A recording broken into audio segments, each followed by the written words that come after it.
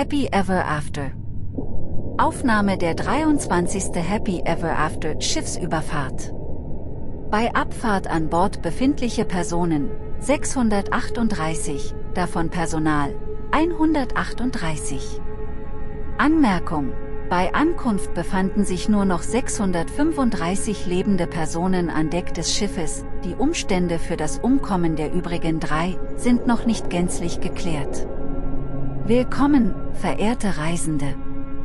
Mein Name lautet HEA und dies ist eine automatische Aufnahme, die Ihnen die Vorzüge unseres Programms, welches Sie soeben betreten haben, näher erläutern soll. Das Happy Ever After Programm wurde einige Jahre vor der endgültigen Annihilation der Menschheit entwickelt, allerdings erst vor wenigen Monaten erstmalig in Betrieb genommen. Dabei handelt es sich, grob gesagt, um eine simulierte Welt, in der das Bewusstsein tausender Menschen hochgeladen wurde, auf das sie selbst nach der kompletten Auslöschung ihrer weltlichen Gesellschaft weiter existieren können. Die genauen Details erspare ich Ihnen an dieser Stelle, verehrte Reisende, seien Sie sich jedoch gewiss, dass die Datenspeicher in denen Sie sich aktuell befinden, tief unter der Erde liegen und vermutlich noch einige hundert Jahre Bestand haben werden, Sie Ihr neues Leben also in vollen Zügen genießen können. Bei Interesse können Sie sich nach unserer Ankunft auf der Insel gerne in unseren Archiven weitere Informationen einholen. Derzeit befinden sie sich auf einem Passagierschiff, welches sich auf direktem Kurs auf besagte Insel befindet. Auf dieser wiederum befindet sich die einzige derzeit existierende Stadt, die in dieser Simulation eingespeist wurde. Sie bietet ausreichend Platz für all die Bewohner, die sich bereits in ihr befinden und die, die noch folgen. Sicher fragen Sie sich, warum Sie erst jetzt dorthin gebracht werden. Die Antwort ist denkbar simpel, um die Kapazitäten des Systems zu schonen, werden die Bewohner erst nach und nach geweckt und in ihr neues Leben geführt. In spätestens sechs Monaten sollten alle Überlebenden der großen Katastrophe Teil der neuen Gesellschaft sein. Bei Interesse über Themen, wie die große Katastrophe, finden Sie natürlich auch hierüber alle Informationen in unseren Archiven. Sollten Sie nach der Lektüre das Bedürfnis verspüren, sich einer professionellen Unterredung unterziehen zu müssen, steht Ihnen unser psychologisches Team jederzeit zur Verfügung. Sie können unsere Fachleute natürlich auch gleich nach unserer Ankunft aufsuchen. Bis dahin möchte ich Sie bitten in Ruhe die Überfahrt zu genießen. Wir werden schon in wenigen Stunden andocken. Zum Abschluss noch einmal, herzlich willkommen, in Ihrem neuen Leben, verehrte Reisende. Auf ein glückliches Ende, bis in alle Zeit. Es folgen einige spezifisch ausgewählte Auszüge der weiteren Aufnahmen. Personennummer 01923, Name, Markus Hamps, Spitzname, Mark, Isaac, bist du da? Personennummer 01954, Name, Isaac Dö, Spitzname, klar, was gibt's? Mark, bin jetzt im Maschinenraum, wie gewohnt heiß und eng hier. Isaac, mit anderen Worten, du hast mal wieder einen deiner eher klaustrophobischen Anfälle und brauchst jemanden, der dein Händchen hält? Mark, haha, wir können ja gerne mal tauschen.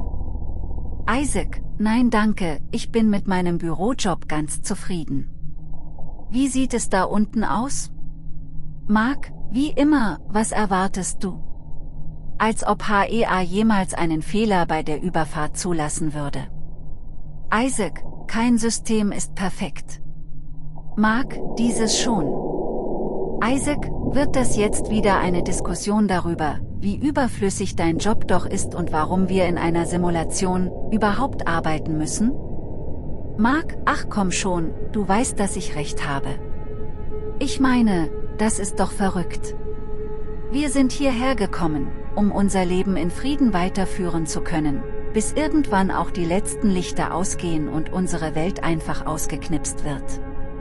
Statt aber unser Überleben zu feiern und zu genießen, werden wir dazu gezwungen weiterhin unsere stupiden Jobs durchzuführen, die wir schon zu Lebzeiten eingenommen haben. Wobei das natürlich nur für die Arbeiterschicht gilt, die ganzen reichen Fatzkes, die sich in dieses System eingekauft haben, dürfen auch in dieser Welt auf ihren fetten Ärschen sitzen und sich bedienen lassen. Isaac, sei doch froh, überhaupt für das Programm ausgewählt worden zu sein. Nicht viele hatten das Glück. Außerdem weißt du ganz genau, dass HEA darauf programmiert wurde, unser ursprüngliches Leben bestmöglich auch hier abzuzeichnen, um es uns leichter zu machen, uns in dieser neuen Existenz zurechtzufinden. Mark, ja, nur hat niemand der großartigen KI gesagt, dass wir durchaus dazu in der Lage sind uns weiterzuentwickeln. Mal abgesehen davon, dass mein ursprüngliches Leben vorbei ist und irgendwo da draußen verrottet. Isaac, sie lernt noch. Mark, du immer und deine kühle Logik. Schön, dass wenigstens einer von uns beiden sich mit seinem Schicksal abfinden kann. Und noch etwas, ich habe durchaus gemerkt, dass du meinen zweiten Kommentar ignoriert hast. Isaac, was soll ich dazu auch sagen?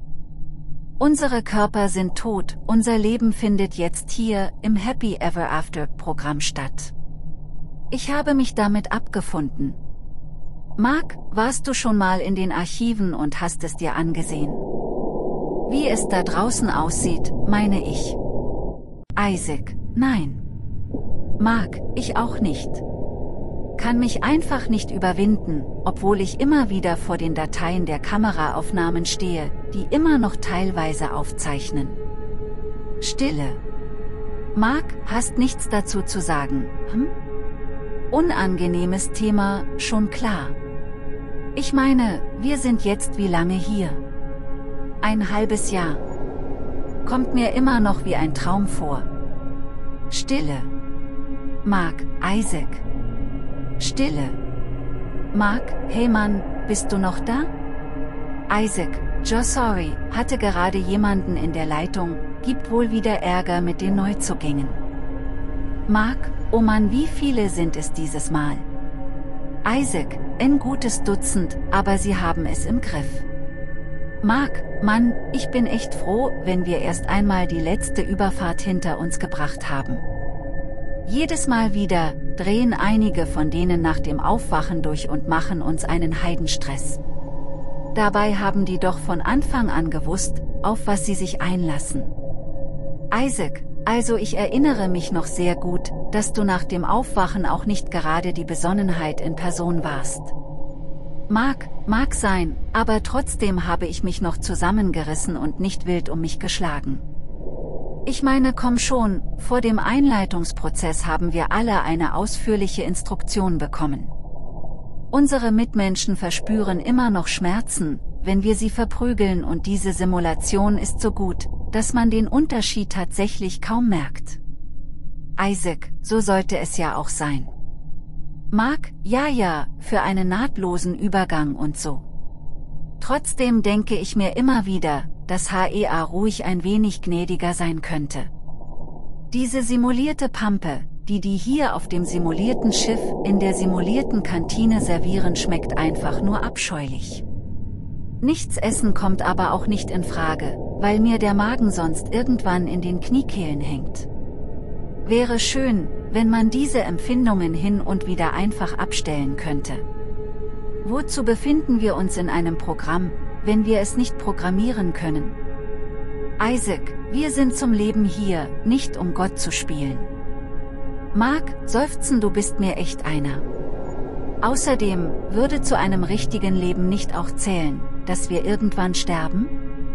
Isaac, tun wir doch. Früher oder später. Mark, ja schon klar, aber du weißt was ich meine. Das Alter berührt uns nicht, wir können zwar tödliche Verletzungen erleiden, aber nicht daran sterben, wir werden nicht krank. Unser aller Existenz wird einfach eines Tages ausgelöscht, klar, aber auch erst dann. Bis dahin sind wir hier drinnen gefangen. Isaac, willst du dich beklagen? Mark, natürlich nicht, ich kann mir nur nicht vorstellen, noch in 100 Jahren hier festzusitzen. Das wird doch irgendwann langweilig. Isaac, nach der letzten Überfahrt, wird HEA ihre Kapazitäten darauf konzentrieren, die Simulation zu erweitern. Ihr wird schon etwas einfallen, uns das Leben hier bis zum Ende interessant zu gestalten und bis dahin stehen dir doch diverse Möglichkeiten offen. Mark, ach ja. Ich werde weiterhin Zeugs reparieren, um die Miete für meine schäbige Wohnung bezahlen zu können und weiter? Soll ich mir eine Frau suchen und eine Familie gründen, oder was? Isaac, beispielsweise. Mark, lachend nein danke Mann. Ich meine, klar, es ist beachtlich, dass HEA selbst Kinder simulieren kann und so, aber hast du dir die Dinger mal angesehen? Einige unserer Mitbewohner, die sich schwanger haben einspeisen lassen, haben ihre Babys ja bereits ausgetragen. Unsere geschätzte KI leistet ja ganze Arbeit, das muss man ihr lassen, aber irgendwie sind diese kleinen Wesen mir trotzdem unheimlich. Sie wirken einfach unnatürlich. Isaac, gib ihr ein bisschen Zeit, dann wird sich auch das legen. Immerhin ist HEA mit genügend Informationen aus der Zeit vor der großen Katastrophe gefüttert worden. Sie ist eben noch mit der Verarbeitung beschäftigt. Hat ja niemand ahnen können, dass sie vor Fertigstellung bereits in Betrieb genommen werden muss. Mark, Zeit hier, Zeit da na ja, immerhin haben wir genug davon, nicht wahr? Isaac, hoffentlich. Mark, jetzt mal den Teufel mal nicht, oh mein Gott. Isaac, was? Was ist los? Mark, hier hier ist Blut. Isaac, Blut? Mark, ja, das sagte ich doch gerade. Es ist nicht wenig und es führt um die Ecke. Warte mal kurz. Oh. Würgegeräusche Scheiße, was schweres Atmen. Isaac, Mark? Sprich zu mir, was ist da los? Mark, warte kurz. Ich, ich glaube, ich muss mich. Geräusche, wie er sich übergibt, gefolgt von weiterem, schweren Atmen okay. Tiefes Einatmen, ich glaube, jetzt geht's. Isaac, verrätst du mir jetzt, was da los ist? Mark, du wirst es mir nicht glauben, aber... Scheiße. Hier hier ist ein Toter. Isaac, was? Mark, ich weiß wie das klingt, aber du musst mir glauben Mann, hier liegt ne verfluchte Leiche. Völlig zerfleddert und ausgeweidet. Das ist kein Scherz, okay. Isaac, ich glaube dir ja, nur. Mark, ja, das sollte unmöglich sein, nicht? Meinst du, das ist ein Scherz oder so? Haben wir da draußen vielleicht gerade Halloween? Isaac, HEA ist nicht gerade für ihren Humor bekannt und außer dir, geht doch sonst niemand darunter. Abgesehen davon, ist in der realen Welt gerade Mitte Juli. Ich werde jetzt jedenfalls erstmal einen von der Sicherheit zu dir schicken. Meinst du, du hältst es dort aus? Mark, ja ja, schätze schon. Ich ich gehe einfach wieder um die Ecke und und vielleicht ein paar Meter weiter. Hier stinkt's nach meinem halbverdauten Mittagessen. Isaac, danke für die Details. Mark, nervöses Lachen. Gern geschehen. Wärst du doch bloß, auf mein Tauschangebot eingegangen, dann säße ich jetzt im Kommraum und könnte mich lustig machen. Isaac, sorry, war nicht so gemeint, es ist nur. Mark, schon okay, Mann. Es ist einfach verrückt. Ein Toter, auf dem verdammten Happy Ever After Schiff. Ich nehme alle Beschwerden darüber, dass es hier langweilig ist, augenblicklich zurück. Isaac, davon verschwindet die Leiche aber auch nicht. Mark, man kann ja Hof, fuck, was war das? Isaac, was? Mark, flüsternd sei mal kurz still. Ich hab da was gehört. Isaac, Stille. Mark, okay, ich glaube es ist vorbei. Isaac, was denn? Mark, keine Ahnung. Hat sich einfach seltsam angehört. Kann es nicht beschreiben. Isaac, okay. Mark, scheiße Mann, ich ich bin einfach nervös, okay. Wo bleibt der Typ von der Sicherheit? Isaac, er versucht sich zu beeilen, aber einige von den Neuzugängen machen wohl außergewöhnlich viel Ärger. Die haben alle Hände voll zu tun. Behalt einfach einen kühlen Kopf, ja? Mark, ich versuch's. Nervöses Lachen auch wenn es hier unten echt schwer fällt kühl zu bleiben, wenn du verstehst. Isaac, immerhin hast du deinen Sinn für Humor noch nicht verloren. Mark, mir bleibt ja nie, plötzlicher Abbruch. Isaac, Mark? Mark, Stille. Isaac, murmelnd hat er jetzt schon wieder was gehört? Mark, nach einiger Zeit, flüsternd verfluchte Scheiße. Ich bin nicht allein hier unten, irgendjemand ist hier noch bei mir. Ich muss dringend nach oben. Isaac, bist du sicher? Ich meine, selbst wenn, dann gibt es doch keinen Grund sich zu fürchten, oder? Das System verhindert vom Grundsatz her schon. Mark, ist mir scheißegal, dass im System keine Möglichkeit existiert unsere Existenz gänzlich auszulöschen, weil ein Bewusstsein keine einfache Datei ist, die in den Papierkorb geschoben werden kann. Der Kerl um die Ecke ist tot, okay. Was auch immer hier schief läuft, ich werde nicht. Oh fuck. Scheiße. Isaac, gebanntes Atmen. Mark, schnelle, stapfende Schritte, hektisches Atmen, zischend Scheiße, Scheiße, Scheiße verfluchte kurze Zeit Stille, nur gedämmtes Atmen okay okay. Ich glaube es ist weg. Isaac, was? Was ist weg? Mark, keine Ahnung Mann.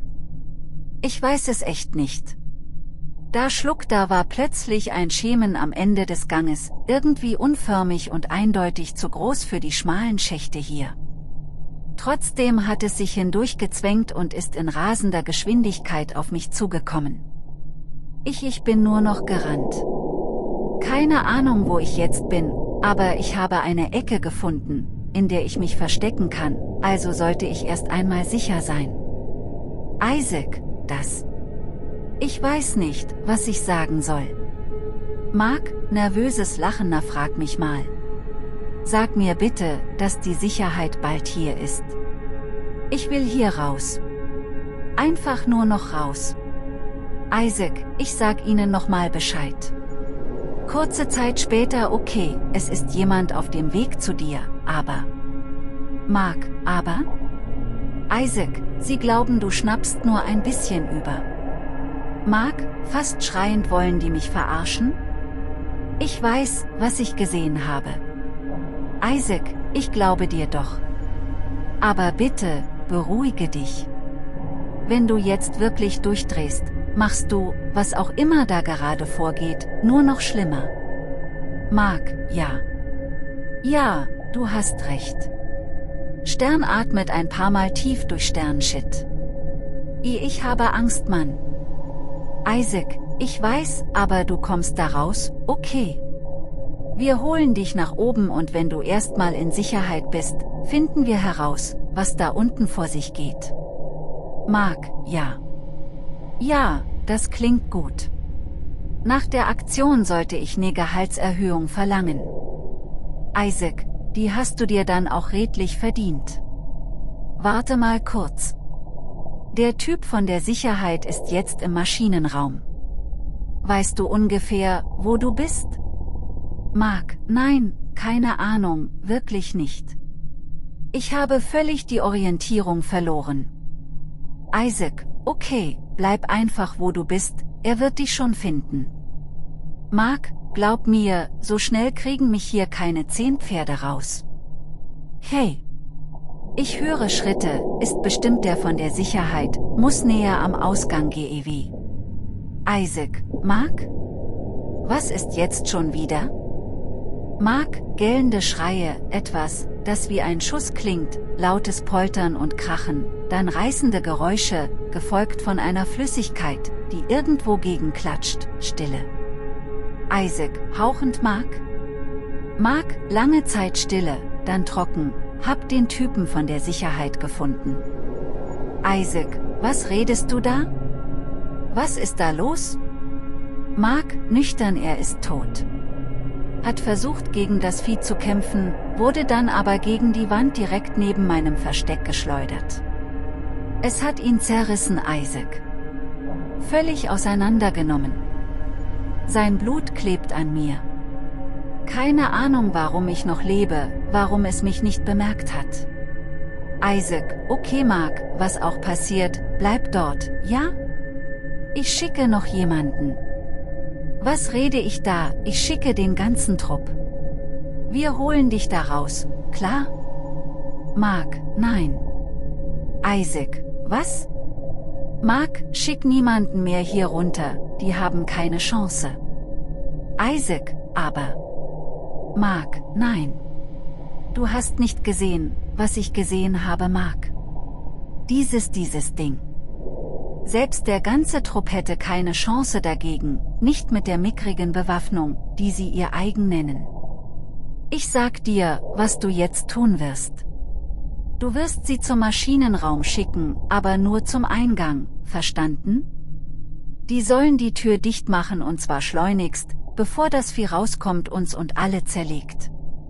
Isaac, aber was ist mir dir? Mark, ich werde rennen, versuchen vorher rauszukommen. Wenn ich es nicht schaffe, Pech. Und jetzt tue, was ich dir gesagt habe. Isaac, Mark, ich. Mark, mach schon. Isaac, stockend okay. Wir sehen uns gleich, klar? Mark, klar doch, Alter. Ende der Aufnahme. Report von Isaac Du, nach dem Andocken der 23. Überfahrt des Happy Ever After Schiffes. Er hat es nicht geschafft. Wir haben den Maschinenraum wie von Mark erwartet abgeschlossen, aber er ist vorher nicht herausgekommen. Die Sicherheit zu überzeugen war nicht leicht, da sie einen offensichtlich an psychosomatischen Störungen leidenden, nicht einfach einsperren wollten. Aber irgendwie habe ich es geschafft. Nachdem wir angedockt sind, haben sie auf mein Anraten hin und unter reichlich skeptischen Blicken eine halbe Armee da reingeschickt. Was sie dort fanden war. Ich kann es nicht beschreiben. Ein Monster. Das trifft es wohl am prägnantesten. Keine Ahnung wie die Männer es geschafft haben, das Vieh zu erlegen, ohne dass es weitere Opfer gefordert hat. Viele sind verletzt worden, ein paar von ihnen schwer, aber sie haben es irgendwie niedergestreckt. Nicht, dass uns das gerettet hätte. Mark haben sie weiter im Inneren gefunden. Er war genauso verstümmelt worden, wie die anderen beiden. Der Typ von der Sicherheit und einer von der Küche. Scheinbar hat er auf seine Partnerin gewartet, da sie im Dunkel der verwaisten Räumlichkeiten ein wenig Spaß haben wollten. Tja, der Schuss ist wohl nach hinten losgegangen, vor allem da sie schlussendlich so viel zu tun gehabt hat, dass sie ihr Treffen verpasste. Ihr Glück. Seitdem zermartern sich alle die Köpfe darüber, was dort auf dem Schiff passiert ist und wie es so weit kommen konnte. Nun, ich habe es herausgefunden, nur weiß ich nicht, ob ich meinen Mitmenschen unbedingt davon berichten sollte. Soll ich sie in Unwissenheit und dafür einem Restfrieden sterben lassen, oder soll ich sie warnen, damit wir kämpfen können? Nur, wie könnten wir hoffen, auch nur den Hauch einer Chance gegen das zu haben, was da auf uns zukommt? Ich habe es ja immer wieder verkündet, dass HEA sich weiterentwickeln würde, dass sie die Simulation erweitern würde. Nur hatte ich nie gedacht, dass sie ihre Kapazitäten bereits seit geraumer Zeit schon dafür nutzte, da sie festgestellt hat, dass das System trotz der Überfahrten stabil läuft. Es hat sich die ganze Zeit vor unseren Augen abgespielt, ohne, dass wir es merkten, weil niemand von uns sich mit der KI auseinandergesetzt hat. Sie hat gearbeitet, hat funktioniert, das war alles, was uns interessiert hat. Dabei hätten wir sie nur fragen brauchen, was sie aktuell so trieb, denn für eine seelenlose Maschine ist sie relativ redselig. Nun, zumindest solange man gewillt ist, die Archive zu durchforsten und ein bisschen tiefer zu graben. HEA ist äußerst penibel, was ihre Aufzeichnungen anbelangt, weswegen wohl auch diese Schriften hier in ihrem System landen werden. Nicht, dass bald noch jemand da sein wird, um sie zu lesen. Vor der Aktivierung ihres Systems haben wir sie mit Informationen gespeist. Einmal quer durch die Geschichte der Menschheit, sämtliche Errungenschaften, die von Relevanz sein könnten, darunter natürlich auch jede Menge Literatur und Filmkultur und darunter wiederum einen nicht zu verachtenden Anteil Fiktion. Fiktion, die eine Key jedoch nicht von der Realität unterscheiden kann. Obwohl was bedeutet schon Realität? Alles, woran man glaubt, beginnt zu existieren, Ilse Eichinger. Und für welche Welt, als eine Simulation, könnte dieser Satz mehr gelten? Wir leben bereits in einer Art Fiktion, nichts hier ist real und doch fühlt es sich für uns so an. Es ist die einzige Realität, in der wir noch existieren können und somit ist alles, was hier zum Leben erwacht, so real wie wir selbst es sind. HEA schien es jedenfalls für unterhaltsam zu halten, alle nur erdenklichen Kreaturen aus der Fantasie der Menschen, real und Teil dieser Welt werden zu lassen. Eine dieser Kreationen hat drei Menschen auf dem Gewissen, denn den Tod hat sie gleich mit eingeführt. Unser Bewusstsein kann zwar nicht einfach gelöscht, sehr wohl aber auf Standby gesetzt werden. Heißt, Mark und die anderen beiden leben noch, sind aber zur Untätigkeit verflucht. Sie schweben als körperloses Bewusstsein durch das System, ohne zu wissen, was mit ihnen geschehen ist und sind zu diesem Zustand so lange verdammt, bis die Technik irgendwann zusammenbricht. Tja, und das war es. Der Rest der hiesigen Bewohner weiß noch nichts von ihrem Glück, sie rätseln noch über den Tod der drei und werden von alleine wohl nie auf die Lösung kommen oder bis dahin selbst dahinscheiden. Denn der Tod in Form von weiteren Kreationen ist bereits auf dem Weg zu uns. Das 24. Schiff hat schon wieder abgelegt und wird in wenigen Tagen bei uns ankommen. Ich habe mich, als einer der wenigen, geweigert mitzufahren. Ich schätze, das hat mein Leben ein wenig verlängert, aber die Verzögerung wird mich auch nicht retten. Vermutlich werden wir feststellen, dass alle Passagiere des Schiffes auf grässliche Weise massakriert wurden, wenn diejenigen, die unsere Neuzugänge in Empfang nehmen sollen, nicht selbst gleich zu Opfern werden.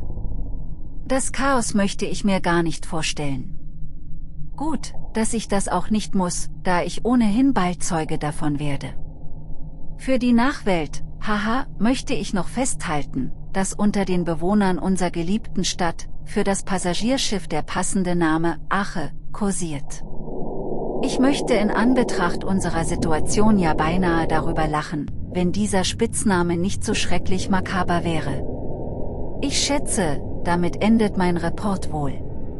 Zum Abschluss will ich noch ein paar geistreiche Worte verlieren. Irgendwie hat es eine gewisse Ironie, dass die Menschheit als Ganzes ihre erste Auslöschung herbeigeführt hat, an der zweiten jedoch nur die Kreativen, die in ihren Werken so oft das Ende prognostizierten oder aber auf mahnende und philosophische Art davor warnten, die Schuld an der zweiten tragen. Und da sagt nochmal einer, Kunst könne nichts bewirken. So viel, zu dem Happy Ever After der Menschheit. Es meldet sich ab, Isaac Dü.